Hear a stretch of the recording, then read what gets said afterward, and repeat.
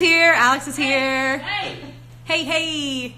Mighty's here. Mighty! Olivia's here. Yes. Hi, hi, Pastor Olivia. Okay, she's gonna join us. What? What? Ah.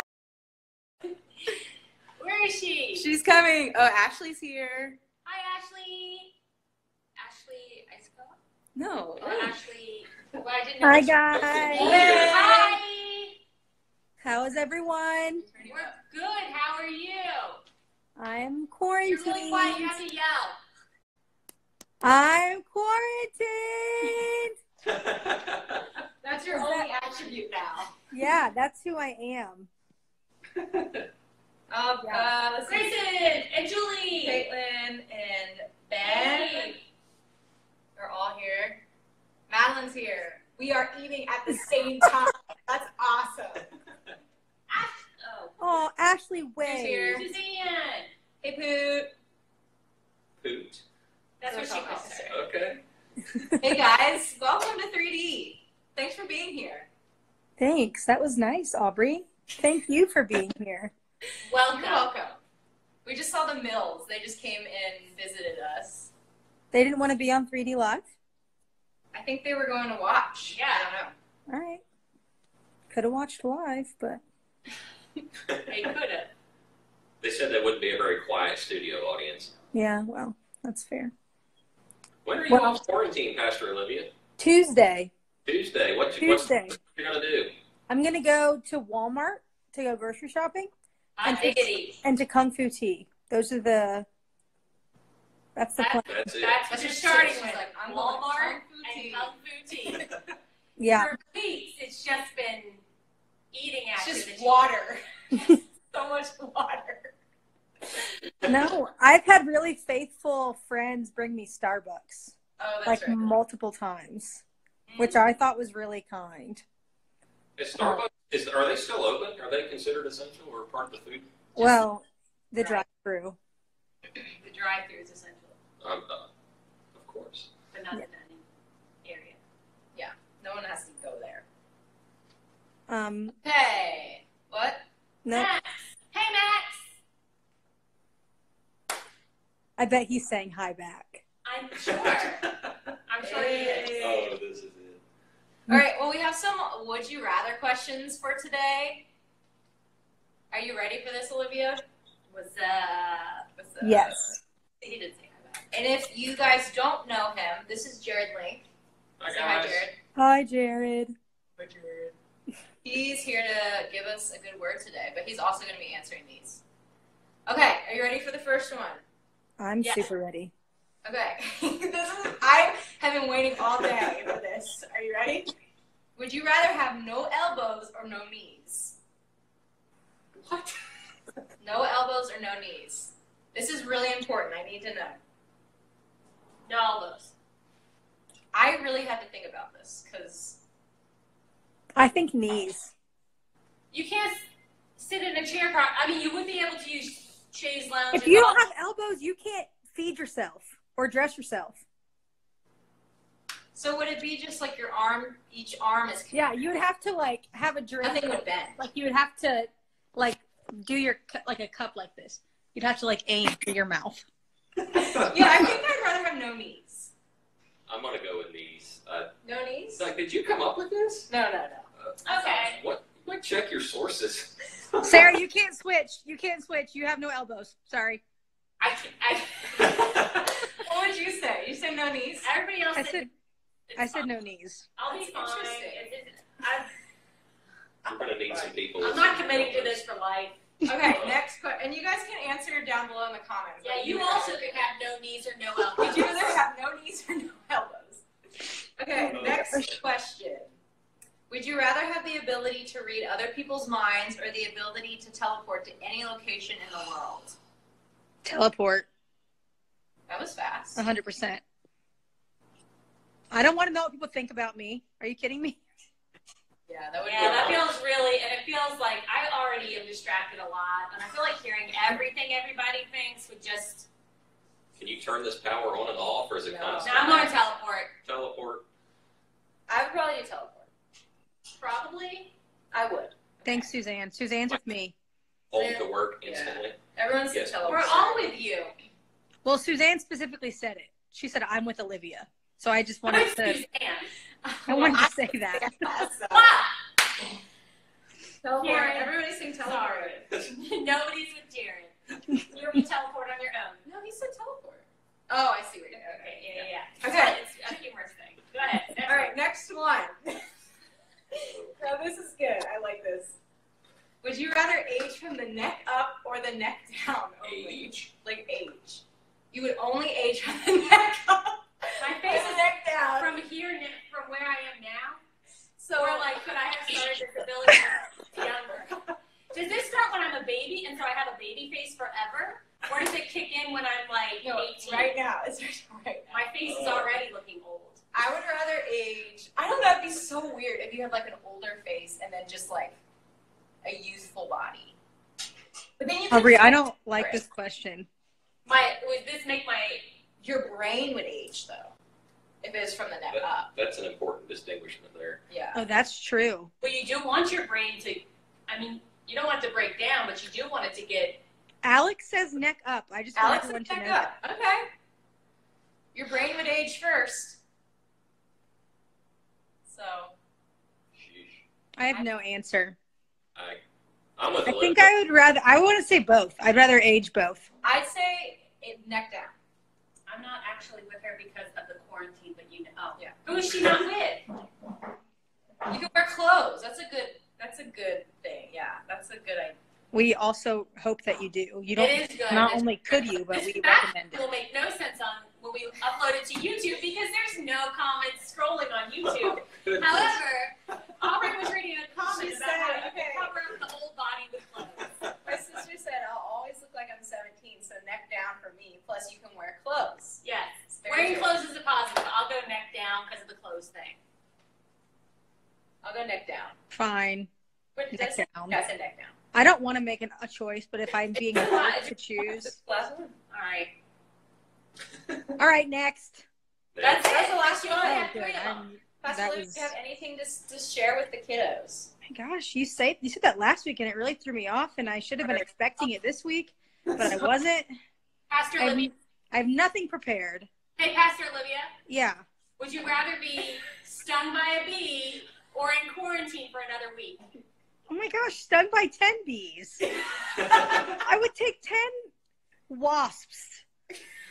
Sarah got stung by wasps. today. I got stung by a wasp on my elbow today. I'm sorry. Well, Well, I don't have to be in quarantine for a week though. That's how it plays out. yeah. Well, hey Jared, thanks for being here or there, not here. Thanks for being Right. there. I'm still getting used to it too. Yeah. And you know, thanks everyone else for being here. So that's all for me. It's gonna be awesome. Okay, we're gonna See turn you it over. guys later. See ya. All right, you guys are gonna move, so buckle in. buckle in, everybody.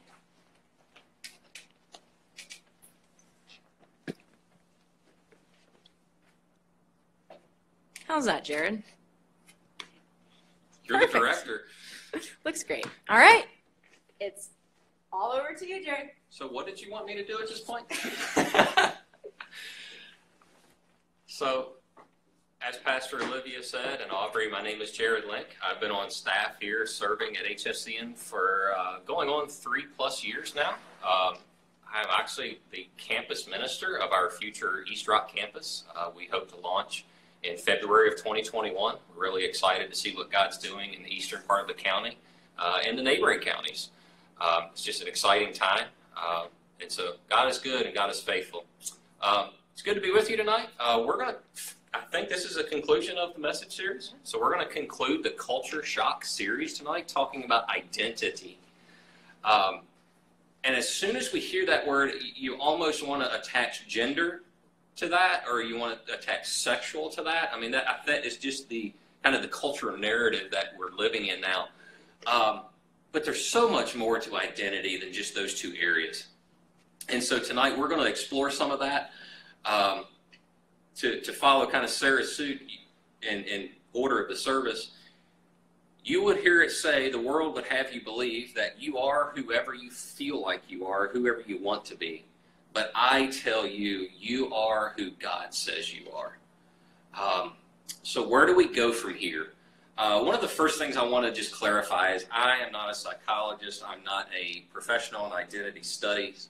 Um, I've lived with an identity for a few years, uh, but I'm not a professional. Uh, we're going to take a pastoral view of this topic, of this conversation.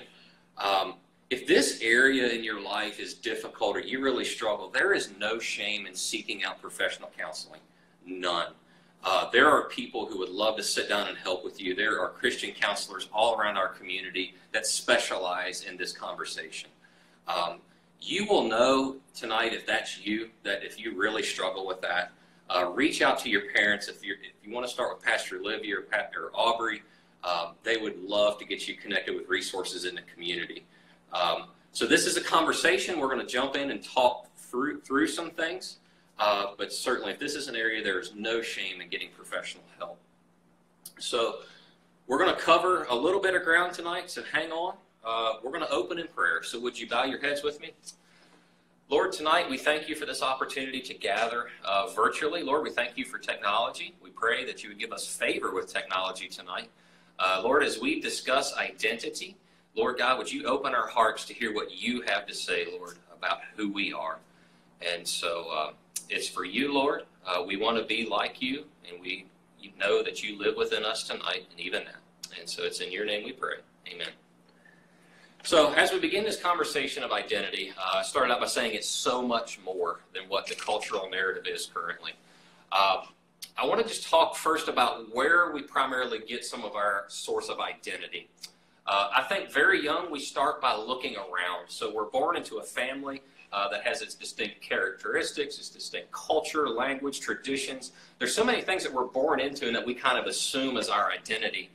Um, all of these distinctives serve as our framework very early on, and they're not in and of themselves bad. Uh, it's great that different cultures celebrate different holidays and different do things differently, different food. Uh, those things are part of our identity, and, and, they're great. They're flavor. They add beauty and color to life. Um, as we begin to get older, our social circles expand. Our world continues to get bigger and bigger. And with the element of social media, it's unlimited. Um, we gain many new friends. And so we begin somewhere along this process to start to notice that we are not just defined by uh, the family around us, but we start to wonder who else is around us. What do our friends do? What do our sports uh, friends do? What does our FFA club? Uh, what characteristics or distinctives. Um, all these groups kind of have their own culture, their own distinctives, uh, if you will. And we begin to uh, wrestle with this feeling of wanting to fit in. Uh, I think it varies in severity for different people, but we are all born with this idea that we need to belong, we want to fit in. And so as our social circles expand, um, we start to sometimes take on attributes of other people that we don't even necessarily know that we like or agree with or we would have come up with on our own. Um, sometimes this means we even compromise. Uh, we sell ourselves out maybe just to blend in or belong to maintain our status or our aesthetic, as I'm learning is, is the cultural term today. This is often a betrayal of who we are in our innermost being. Um, and I know that can hit hard because I made some of those mistakes in trying to fit in. Um, I, I wasn't real solid on who I was when I was younger, so that that specific thing for me was very real. Uh, taking on bits and pieces of different groups you hung out with, and that leaves that left me not really knowing who I was. I was just kind of a chameleon wherever I went. And I came. I'm going to date myself a little bit, but that was pre-social media. So it was a lot easier to do in those days because the world didn't connect in a social media platform for me. Um, but I get that, and that's not a con- that's not a thing of condemnation. It's just kind of an awareness of wow, have I done this? Am I doing this? What am I getting for my identity from the people I hang out with? Um, and that that issue, that problem, is not necessarily even just related to your childhood or your developmental years. Adults wrestle with identity constantly too. Uh, what we do is for a career, for jobs, that's a big part of who we are as adults. Um, and again, that can be great to be a doctor, a lawyer, a construction worker, a truck driver, anything you want to be. That's okay, and that is a part of who you are. But the problem begins to come when we define ourselves solely by what we do instead of what God says about us or who we are in Christ. Um, there, there really is. It, it, kind of comes down to um, you, you lose a sense of self by priding yourself in what you do. Uh, we can kind of hide behind what we do. We can dive so deeply into working that we forget to just be. And Pastor Adrian spoke some of that this morning around the idea of Sabbath. Um, but it's that's I'm just proposing this as one area to really look around. Um, so two two things that may two potential problem areas with this idea of looking around and, and kind of blending in with wherever you go. First, it's not Christ centered. Not to overstate the obvious, but we should be looking to Christ, to what Jesus says about us for our identity. Secondly, this really becomes a problem when we lose the ability to do that thing we were identifying ourselves by. Um, whether that's a sports injury that takes you off the sports team, uh, whether your family has to move, whether you just get older and your responsibilities change. When we lose that thing we've been identifying ourselves by, or that group of people, uh, it can be devastating uh, it strips away that part of our identity. And, and when you lose that piece, you can kind of go into this frantic search to fill that void. Um, and there are people in your church, there are leaders here that serve that are still years later trying to put some of those pieces back together from a crisis identity search that happened years ago. So there's a huge opportunity here to minimize future regrets if we can source our identity in Christ and a little less from who's around us and what's going on. And some of you may be wrestling with it, with this even now with this COVID nineteen thing and all the schools being closed. Uh, you're not you're no longer playing sports. You're no longer in, at the band. You're no longer at the FFA meeting or whatever it is, or just running with your friends at school sometimes even that little bit of absence, you may be thinking, wow, who am I? Like, what am I supposed to be doing with myself and all this time? That's just a, a sign that we need to be sure of who we are and where we're putting our faith and trust and who we're drawing identity from in these days. And again, this, this happens to adults too. Uh, many adults right now are out of work, have been told to stay at home. And I even heard a politician the other day say, that we need to get Americans back to work because it's a source of identity. And I just thought, wow, even our politicians recognize the importance in the society of what we do as it relates to who we are. Um, it, it just really came to the forefront when he was speaking and said, we got to get back to work so people can find, basically find their identity again. And I just, I offer, I plead with you, friends, that there is so much more to your identity than what you do or who you're running with. Um, and again, this this is just an opportunity to look within, to open your heart to the Lord and say, Lord, search me. If you're in that season, if this is hitting home with you, bring it to the Lord. Start seeking, start asking questions about who you are in His sight, and let Him speak into that. So another place, so we look around uh, I think naturally that comes. We look around as we get older, it begins to change. So, from looking around, I think a second place that we look for identity is that we begin to look within. We begin to look within. Somewhere along our journey, we realize that we're not only a collaboration of everyone around us, but we are our own person, uh, our own ideas, our own feelings. Uh, we begin to mesh those two worlds together who we, who we see and who we are around other people and how we fit in our families with what our desires are, what our thoughts are.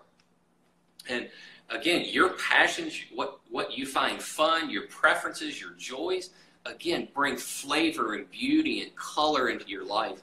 And those are God given things, but they need to be held as far as this identity conversation is concerned. They need to be held appropriately and held in proper perspective as it relates to who we are.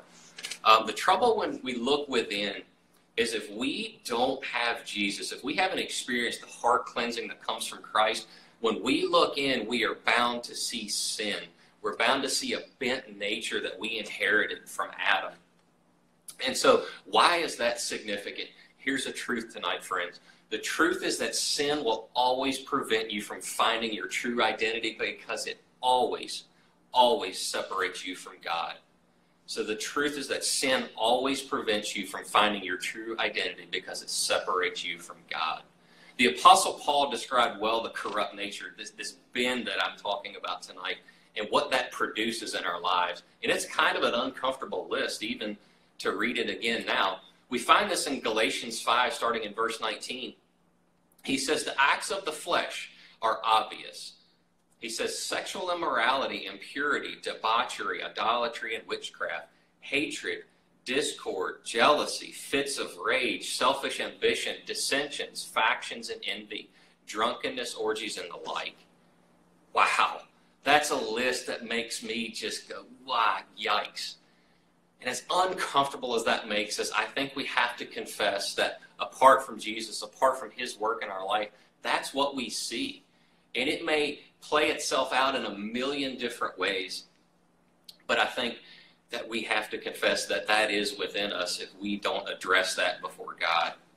So what happens? What's what's wrong with that? What happens when we look within and we see a carnal nature, a bent from sin? Well, we are living in a Western culture that has given us unlimited freedom and self-expression.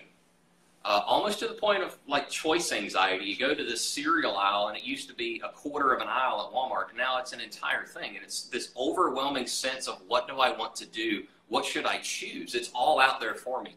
And our culture has given us space for individual expression and individuality that exceeds the cereal aisle. There is virtually no limit and no barrier to your pursuit of what you think makes up you. And so our culture has told us that the lie that at the end of that pursuit is ultimate happiness. And that when we find our true self at the end of this search, that we will have found true happiness and utopia will just erupt and it will be everywhere and it'll be good. And friends, I think you can look around and you can look at what's happening in the world today and even your own struggle with identity and know that that narrative might not have the depth that society would say it does. So we, I think, fall in a trap to where we can engage on this inner search of ourselves until the search itself becomes a prison. We can become so inwardly focused that we never realize the true meaning of life does not come from ourselves, but from God. And I think this prison holds many people captive and they don't even know it because we're searching within for something that can only come from above. Can only come from life and fulfillment in Jesus Christ. And so, as we have looked within and we're on this pursuit, and we're in a world that says the more far out you are, the farther you want to pursue it, we'll make room for that. And those some of those issues are okay. I mean, that pursuit got us women voting rights at one point in our culture. So pushing those envelopes has gotten some positive things but there are limits, there are barriers uh, that should be in place to keep us guided. So, what happens when you have solely sourced your identity from looking around and looking within? I believe it can be hard to find our meaning for ourselves in this existence because those variables never stop changing. What happens around you never stops changing. Who in the world would have thought we would be stuck doing 3D Live over an Instagram feed several weeks ago. What's happening around who you get to spend your time around never stops changing. So when we are identifying by that, our identity is just this constant metamorphosis of change. We never are solid on who we are or what's happening. And the same thing happens within because as our world changed, God gave us feelings, God gave us emotions. And as the world changes, our feelings and emotions change. As our stage of life changes, things inside of us change, and our identity can, on both fronts, just be in this turmoil, this mixing blend, and we're never quite sure. We don't have that bearing point of who we are. And so I think we can often be left bewildered. We can often be insecure and devalued because we can never really tell who we are and if we do get a grasp of who we are, we're never really sure where it came from, whether it was just me or whether it's just a culmination of the narrative that we've been living in. Now that we're all shouting happy and so encouraged, what's the alternative? What what is, is there something different? The question remains: We will define ourselves by something. We will be involved in social circles. We will look within. What's the alternative? I would like to tell you a story. We're going to switch a little bit and, and turn to the Old Testament. We're going to go old school in the Old Testament today. Um, I want to look at the life of Daniel. Uh, Daniel starts the, the the beginning of Daniel's story starts at very young. They scholars believe that he was somewhere between the age of 14 to 17. So many of you would fall within that age bracket, and that's the Daniel that we're talking about in our story here at the very beginning. One of the first places that I want to start is Daniel chapter one. So uh, Jerusalem has been captured or has been besieged. So the enemy encamped around the town and cut off supplies until they had to surrender. So the king of Babylon, Nebuchadnezzar, and you may remember that story, uh, many of these stories from your childhood, because Nebuchadnezzar is also the king who threw Shadrach, Meshach, Abednego into the blazing furnace because they wouldn't bow down. So that's if that name strikes a chord with you, that's where it comes from, which is also recorded in Daniel. So Nebuchadnezzar has taken uh, some of these young men. He has sent his officials out to find a couple good men. Uh, they were to be, uh, chapter 1, verse 4 says, young men without any physical defect, handsome. So they wanted to be, you know, sharp dressed dudes, showing aptitude for every type of learning. So they needed to be smart, quick to learn, quick to understand, and qualified to serve in the king's palace. And the king wanted to put them in basically a three year training program. So they've been taken from their home and put in, a, in an enemy territory, if you will. And that's hard for us to grasp at, in today's time because we don't grasp what it meant for an Israelite in that day to be taken from their land. Uh, they sensed a lot of their identity was from being in the land of Israel. So to be removed was devastating for them. So here are some teenagers who Sharp dressed dudes have a good aptitude for learning, seem like they got it going on. They're pulled out and they're sent in to learn. Listen what they're to learn. He was to teach them the language and the literature of the Babylonians. Doesn't that sound a bit like they were to have their identity changed? So the king goes on, they've, they've been given opportunity to learn. They're in the king's palace. They have all the, the king's provision. And part of that was meat. So again, if you go back to Old Testament law, the, the Israelites had dietary restrictions, dietary covenants uh, that they kept. And that was a big deal for them. And Daniel did not want to defile his relationship with God by eating from the king's table. It says in verse 8, but Daniel resolved not to defile himself with royal food or wine. That's significant because he has said, look, my relationship with God, how I interact with God on high, is more important than what you're trying to do. I will not change who I am on the inside to meet your custom. So they basically asked to have a different menu. They asked to keep the meat, that they they not have be served meat, that they could just eat vegetables. And this was really a, a, defiant act because they're saying, no, we don't want the king's provision because it might go against who we are on the inside. And that is so huge because here they are pulled away from their family, everything they've known. Who would have really known if they ordered or enjoyed an extra slab of bacon that week? Nobody would have known but them. But they were so true to their identity and who they were in God that they asked to just eat vegetables. And it worked out. They did a small test run, and 10 days later, they looked better than everybody else. There's another story that's really significant in Daniel's identity, and that's Daniel in the lion's den. And you might remember the cartoon characters of Daniel sitting, petting pretty soft kitty lions, uh, but I believe the story went down a little bit differently. Um, so some leadership has changed. Nebuchadnezzar has been overthrown by the Medes. So Darius is king now, and he appoints 120 leaders. And lo and behold, Daniel, upright in character, is chosen again to be in this 120. Well, he made some enemies. Like, you know, he was always the guy with the right answer. He can interpret dreams. So people had it out for him. And they knew that they couldn't trick him, they couldn't trap him in some kind of scandalous affair to get rid of him.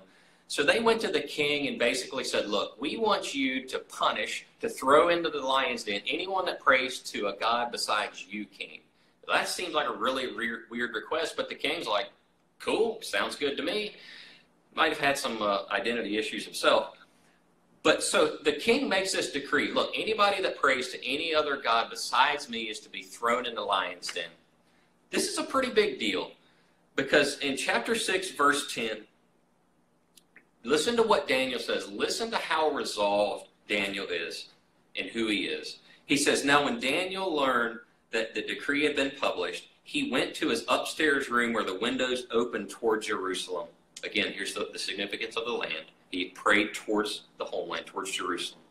Three times a day, he got down on his knees and prayed, giving thanks to his God, just as he had done before. He was not going to change who he was to fit the, the times, the, the cry of the moment. What is significant about this story, friends? It's hard to tell through here, but scholars believe that this took place 70 years, seven zero, 70 years after he was taken into captivity. He didn't just make it seven days praying on his knees three times a day. He made it 70 years. He was that secure, he was that firm in his faith that 70 years later, when it meant his life, he went home and prayed three times a day. Friends, that's what an anchor can do for your life. That's not being identified by your circle of influence, by the cultural narrative that's going on. That's being identified and anchored in Jesus. And you can hear the king was heartbroken that he had to throw Daniel in the lion's den. But hey, he had done it. He had made his signet ring. It had to be done. So it says in verse 18 the king returned to his palace that night and spent the night without eating, without entertainment being brought to him, and he could not sleep. He was distressed because he loved Daniel. Verse 19 says, At first light of dawn, the king got up and hurried to the lion's den. When he came near the den, he called to Daniel in an anguished voice Daniel, servant of the living God, has your God, whom you serve continually, been able to rescue you? and we know the story. Daniel had been rescued. But look how the king identified Daniel. Just the night before, he had said, anybody that prays to anybody else is going into lion's den. And when he walks up to Daniel, he says, Daniel, servant of the living God. Friends, that's identity. That's getting it right. That's having an anchor for your life. So, how do we get there? How do we get to that point of being anchored in Christ? What does that do for us? I, again, we're just going to we're going to take a walk through some of these ideas. It's a bigger topic than we can discover, but I think there's three things that we really start that begin the process, if you will. The first thing that we get when we come to Christ is forgiveness. That's right, forgiveness. You say, how did this turn into a salvation message? Well, because truly, when I said that we can never be our true selves if we are bent to sin, if we are sinning, that's not just a throwaway line. That's pretty hard facts. Um, that matters uh, in that it will always separate. When we are living in sin or choosing to sin over what we know to be following Jesus, we are constantly under that weight of guilt because somewhere in ourselves we know better. So that guilt, that shame, that fear, that anxiety that we live with can carry an immense weight and we cannot help but bend under its pressure.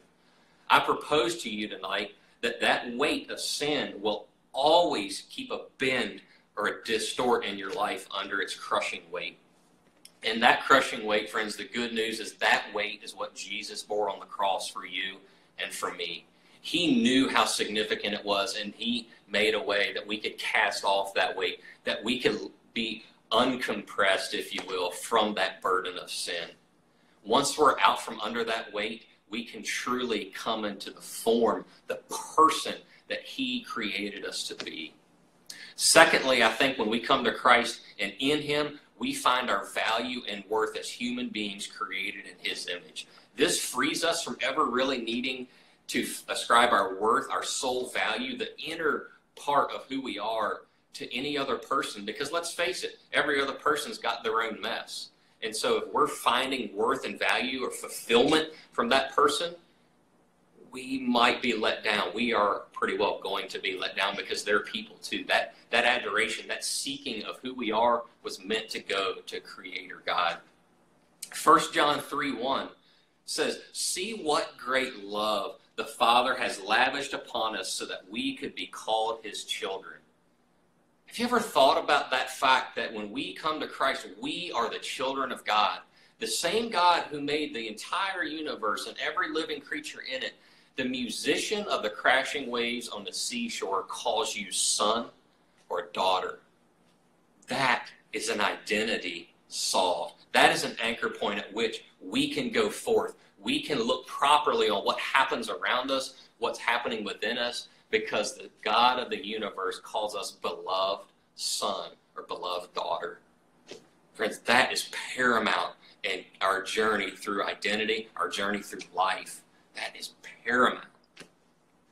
This gives us incredible worth and value to our humanity. If we were not cherished and loved beyond God, beyond measure by God, why would He have done this? Have you ever thought about the fact that we, as minuscule human beings, can say no to Creator God? That He loves us so much that when we are born, we have so much dignity and worth and value that we can shake our fist in His face and say, No, you will not rule over me. But yet He loves us enough to give that choice. Friends, that is a love that has a plan and a purpose and a desire to see you sourced in a different way, in a rock solid way of Jesus. Friend, a God who loves us, loves us that much, who values us that much, who knows us before we're even born, as Scripture tells us.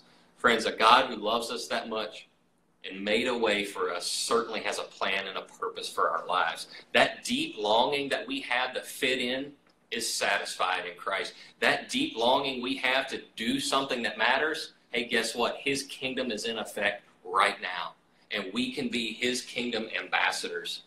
The Apostle Paul spoke in 2 Corinthians, verse 5. He says, We are therefore now Christ's ambassadors, as though God were making his appeal through us. So in Christ, we have a calling, we have a vocation, we have a job to do, and that we are to take his spirit everywhere we go. You may, if you've been around the church a while, you may have heard the phrase presence evangelism. Again, that's not just a cutesy hashtag that we make up. That is something we believe that as we go with Christ in us, He is on mission through us when we are obedient and we are sourced in Him. So, friends, not only have we gained our worth and our value from Jesus from a rock solid point, we have something to do. We have a mission that is bigger than us that is going on. We're getting ready to celebrate Easter in a couple weeks. That was the hinge pin of all of creation right there. In that from there forward, his kingdom is here and now. As we look through the world and all the craziness that's going on, friends, I've had to remind myself a lot of that here lately, and that God's kingdom, his story, is still going on, and we have a part to play in it. Will you join me in playing a part in that? God's call for us to, is to be identified in Him, to play a part in His kingdom, to be His ambassadors to a broken world who needs hope, who needs love, who needs to see that, to believe that it's true. Friends, finally, this is not a call to condemnation, okay? Um, if you if you've tuned out, just just hit back with me here for just a second. Hear this one thing. It is possible to be in a saving relationship with Christ and still struggle to identify yourself as God identifies you. That's okay. Don't feel shame. Bring that confession to Jesus and let Him speak into this area of your life. This is not a call to condemnation. This is an invitation to freedom. You can walk differently being found in Christ. Talk to your small group leaders. Talk to Pastor Olivia. Be honest. Seek truth. Listen intently. Read the Bible. Read what God's promises are, what He says about you, and believe it when you see it. Friends, God's narrative, His truth is the universal truth. What He says about you is the truth. So, friends, I encourage you today. Again, this is not, if, if this has come across as condemning, I'm sorry. There is no condemnation in this message. It is an invitation to be identified, to have that set point in Jesus Christ. So bring it to Him. See what God says about you and see the difference that that makes in your life instantly. It can be a journey, but you will know your heart has changed when you come to Him. So I encourage you to, to stop, to pray. We, we've all been given a little bit more time in these days, a little bit more solitude. Seek Him. Ask Jesus who you are to Him and listen to what He says. Would you pray with me? Lord, as we um, tackle this topic, it seems impossible in 30 minutes, Lord God. You are calling us to be known by you. Father, what you say about us, beloved son, beloved daughter, of immense worth and value, Lord, that is true. Lord, we receive that today in the name of Jesus Christ. Father, thank you for your redeeming work on the cross that has paved the way for us to have a clean heart, to have a pure heart before you, so that we can let the nature of love come forth as who we are. Lord, thank you for your son Jesus. Lord, thank you for your call. And so, Lord, as we open up, I just I invite questions, Lord, as people are seeking. Holy Spirit, come. Speak to our hearts tonight, Lord Jesus. And it's in your name we pray. Amen. Amen. Awesome. Let's give it up for Jared. Woo! I can hear the applause. Roaring. Awesome. All right, we're gonna open it up for a couple questions. If you guys have some questions for Jared, I also have a question. Oh. It's been on my mind. clap, clap, clap, says Alex. Awesome. All right, we'll take some of your questions if you guys have any. Caught that. Aw, clapping. Kaylin's clapping. I guess I can go ahead and ask my question. Yeah. Should I go ahead and ask? Sure. So how would you balance taking those like great people in your life that inspire you? Like how do you balance an inspiration and taking on someone else's identity? That's Where's good. that middle ground? I mean, I, I would think that the relationship to that person will tell, because I would think we take on a lot more from our parents than maybe we do from an inspirational teacher. But I think that line maybe would be uh, somewhat personal. Like, are, what are we ascribing to them from them? Um, know. What do you think? I don't know because it's because it can be all great things about a person, but you, I think there's still a line that you you kind of cheat yourself because you're not taking on your own traits and you're kind of stealing other people's traits. Like even if they're good traits, like you also have an identity that it was made just for you. So I think that's I don't know. What do you think? Well, I don't remember if I, I know that I put this in to say it when I talked, but I don't remember if I actually said it or not. But um, I used to, when I started to, to put together messages, I used to think about the influential people that I looked up to who, who um, other pastors or speakers, and I would try to imitate them and then um, and think, oh, they've got this good style, and they tell, you know, I should tell jokes like them, or I should tell a story in their in the way they do. And one of them came to um, uh, our class and said, you know, God called you. He already, you know, He doesn't need you to use my style. He doesn't need you to. He called you because He wants your voice. He already has me. He wants you, and He wants your voice. He created you with that voice in it. So you're not just, um, what did you say, cheating yourself, but Yeah. you're you're holding back from God what He gave you. Yeah.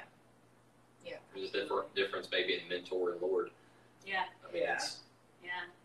but I mean, I, I have benefited huge from mentors. I mean, that's Oh, yeah. I, I'm a contact hands-on learner, and mentors have been a huge part from when I was learning to do electrical work to even studying in ministry. I yeah, it's and, and to, Sarah, to your point, you, you kind of take on people's flavors, and I think God gives us people in our lives to influence us. But if we try to replicate or duplicate, we're selling ourselves short as if we take it and learn and form our own. Yeah. But Yeah. good question. Um, Pastor Olivia asked, "What would you say to someone who appears to be living a life identified by Christ, but is really trying to live with multiple identities depending on who they're with?" Oh, brother. Been there, done that.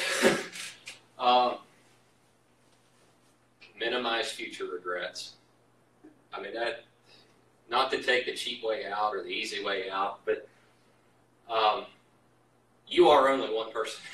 You can only be one person. Uh, that I mean, social media, I guess, has made it easier to be multiple people, maybe with fake accounts or different circles of friends or whatever. Um, be you. It, it will only turn out poorly if you continue to be have multiple identities. And you, you might better say, look, dude, you're you're 30 couple years old, married with a daughter. Like, what do you care about identity anymore? Um, you know what? I still have to be true to me. I still have to be true to who Christ says I am because things are changing. Like I, I got married, well, that was a shift, so now I'm husband. Uh, Eliza was born, so now I'm dad. Like identity keeps changing, but we, I'm still me. Like I still am who God says I am. So if we're playing different things, I just don't think it's going to go well. I don't think we can base that position scripturally anywhere. I, I don't think. Speak in. You got something? Oh, the cat ain't got you going all night. I was just, I'm soaking it in. soaking it on the tree. I mean, They had to listen to me enough. Y'all go. I mean, you know, like, what should you say? Someone who appears to be living a life identified by Christ is really trying to live. And you might fool a lot of people, but you will never fool God. Yeah. And you will have, I mean, you talked earlier about like you just have that sense that knows if you are being true to who God created you to be and his plan and his purpose and, and, um, and what he asked you to do to bring about that plan and purpose in his life. I mean, if you are uh, living a life of Christ, if you have been, um, I think even guided well and mentored well, like you should have a sense about it of what is, um, what is right and wrong, and what is good and God glorifying, what is healthy and helpful. And, and I would say if, if some if you're out there and that's you tonight, there are people here that love you enough to know the real you. Um, don't hide it. And I'm not saying you need to go clean up your mess before you come back. There are people that love you enough here and in your circle of friends that you can just be real. Don't hide it. Um, I think when when I was coming through that, when I was struggling with that, the people who loved me regardless, who knew the real me that I didn't have to put on a front for, is who really spoke into my life. Uh, I, I, there's not a, I don't know that there's a great easy answer for that, but there are people here that love you enough to love you as you are. So be you. We'll walk with you. Yeah, any other questions? I have another one you guys don't have any, ask some questions if you have any for Jared. We still have a couple more minutes. Or ask question for Aubrey and Sarah. Hey, I'm still working. I mean, I'm still at the point in my life where I'm still working all of that out. But Well, t- my t- French talk about this. developed now, though. Fully developed. check. so what does that look like? Because I mean, we're we're in we're me and Sarah are close to stage of life, but what what how does that relate? I think for me, it was really hard when you go through middle school, high school, go through college. You really, you really are identified by what what you can do. So it's like you are really good, you're really academic, or you're really athletic, or you're really great musician or actor, and that's just part of the context of going through school. Is that you do a lot of things, like you have a lot of hobbies, but, they become a lot of your um, of who you are, of like who you see yourself as. And so I think it's just hard transitioning out of that and realizing what am I or who am I without any of those things.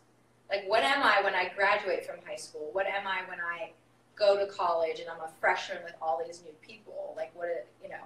Um, so for me, I'm just in that stage of transitioning out of that. Um, and I obviously can't. I don't know how people find their identity in things other than Christ or like find hope in things other than Christ. So for me, it's been easier because I did grow up in the church. I did grow up as a believer with a relationship with Jesus, and so I had a basis of where my identity was. But I think it's harder when you don't grow up with that. because I think every kid is inundated with, you know, play sports, play like do well in your SOL. Like every kid is told to do is to is their identity is in what they do. Um, so you'll get past that. You won't be have to identify with that anymore in the future. But it is it is weird. It's like a weird limbo stage. Um, but it's also very freeing. I would say. But I'm sure like you guys, there's different parts of struggling with your identity as you get older, and you you like form an identity with somebody else, or like you have to kind of For me, um, you know, I don't feel so much like I'm trying to figure out, uh, like who I am. Uh, for me, it's in the past uh, couple of years, it's been working out being okay with who I am. Being, you know, God, um, I, there are there are things about other people that I wish, you know, I had. There are things about other people that I'm glad I'm not like. Um, and um, there were a lot of years that, you know, you when you're trying to figure out who did God make me to be, or who am I, or what do I want to be, that you do imitate other people, or um, you just sort of test the waters. And um, it is just accepting. I think um, Pastor Adrian gave a, a sermon about gifts a couple. I don't know. If this has been maybe two years ago, but he he talked about. Um, I think when his sisters had given him like a hot dog, oh yeah. a hot dog bun warmer or something like that. And he was like, "Thanks, guys." And so, like, there's there's parts of your, um, and I remember that that being really impactful because it was I was looking at myself and how I was made and coming to sort of understand who I was. And there were parts of me that I was like, "Thanks, God, that's great. I see that you did that. That was what you said was a gift." And learning to appreciate who I am and um, and being okay if other people don't um, think that if they just think I'm a hot dog bun warmer, you know, Yeah. if that's all I amount to in, the, in their perspective. And I think that's the significance of finding your worth and value in Christ. Yeah. Is that it's okay if every person you meet is not necessarily doesn't jive with you that well, or they don't think your hot dog warmer is great. Like it's it's okay. Um, you, you're not look you're not trying to pull value from every person you encounter, yeah, and I think that's a significant part. I I'm sure a professional could tell us more about it, but I it's I remember that process, but like I said, it, it's just different. We're in different stages of life. So, I off yeah, sorry. I was gonna say I like often will use it as like a positive default. So hear out. Like if I fail or I did poorly at something, I'm like, well, my identity's in Christ, so it doesn't. that's and, default. and like things, it's like you know things that don't that I am hard on myself about. It's like, oh, I did that poorly. I didn't. I didn't confront that the way I'd like to confront it. I'd be like, nope, but my identity's in Christ. does that reach deep for you, or is that just like where you're like, no, it's fine, identity in No, Christ? no, it, it really does. Um, it does reach deep me because it's like it gives me an, an eternal perspective, Yeah. which I lose a lot. But. I think that um, you touched on it when you were talking about how a lot of y'all are dealing with this, um, the activities and the and the groups that you have identified yourself as being really sort of shut down real fast, Yeah, yeah. and it can feel unfair and um, upsetting. I know it feels unfair when you've worked towards um, being in a play. It feels unfair when you've worked for a senior season. It feels oh, unfair when you've worked for graduation and things like that. Um, and um, I know that as that's taken away, there is this sense of who am I without this? Who will I be without this? And um, you will be who you will, who God created you to be. And I would encourage you, in the time being, not to, you know, sort of burn down your house because you feel miserable. You know, because you're dealing, because you're working through it. Um, just it's okay to say this is really frustrating and disappointing, but it's also okay just to work through it in healthy ways and to talk to people about it and to seek support because you're not alone in it. And I mean, we recognize, other people recognize that there is a lot about this that is just for this situation for you personally just feels very unfair and we could just say is unfair. We have one more question from Brianna.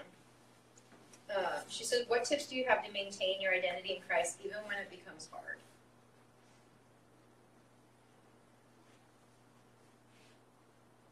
I, I think developing spiritual disciplines. I mean, I, I hate to take the again the old school answer, but I think I think we undervalue spiritual disciplines in um, studying the Word, spending time in prayer, taking intentional time to stop, to pause, to push back uh, against the cry for more, as Pastor Adrian said this morning. Um, it, it is hard, and it it is a long journey. It can be a long process. Um, I, I think sticking to those values of and disciplines of prayer, scripture, worship. Uh, I mean, look at even back to the story of Daniel. For 70 years, he went home and prayed three times a day towards Jerusalem. I mean, he, he essentially didn't know if he would ever see home again. Um, but yet, that, it says, go home and pray. Well, what does that look like? You have to find that for you. Um, we don't necessarily always need to go to a high mountaintop and pause and pray. I mean, you can pray driving down the road or in in your bedroom or wherever you find yourself. But there there comes a moment where a, a discipline becomes in play, where studying the Scripture and prayer is a is a time of solitude where you can just hear what the Lord has to say.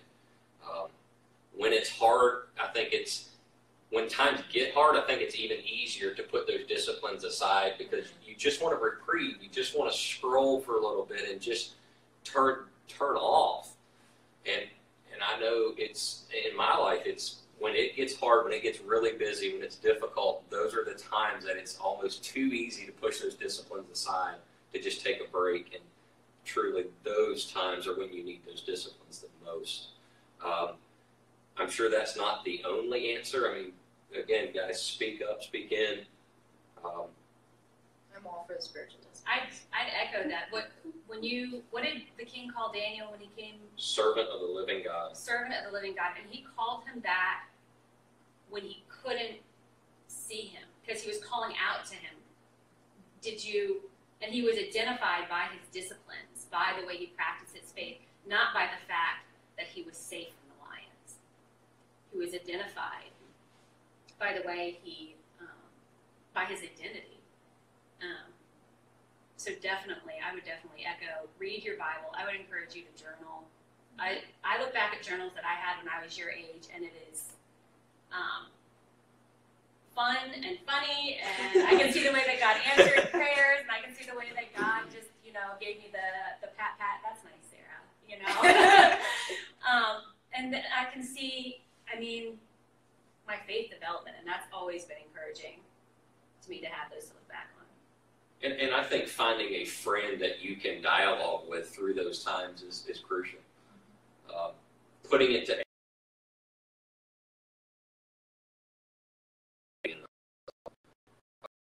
but I don't think any of us are in denial. It, there in seasons it can be really, really hard, um, and it, it just stinks. I mean, I, it's just part of growing and maturing.